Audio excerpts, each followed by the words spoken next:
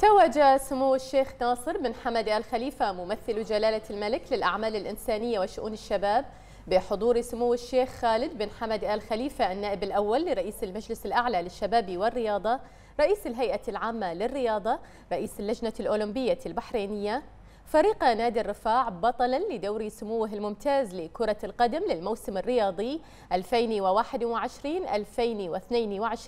على استاد البحرين الوطني حيث فاز الرفاع على المحرق في الجولة الأخيرة بأربعة أهداف مقابل هدف.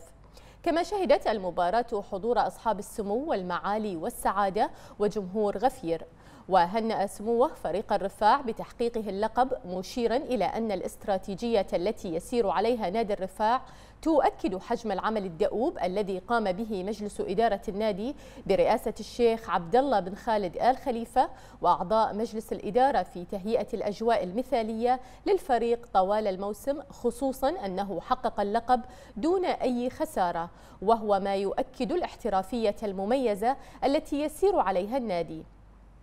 وأشار سمو الشيخ ناصر إلى أن المستويات البارزة والمنافسة القوية التي شهدها الموسم دلالة على سير كرة القدم البحرينية نحو المزيد من الازدهار والتطور في ظل المنافسة المفتوحة على المراكز الأولى إضافة إلى اكتشاف العديد من المواهب الشابة التي ستكون مستقبل الكرة البحرينية.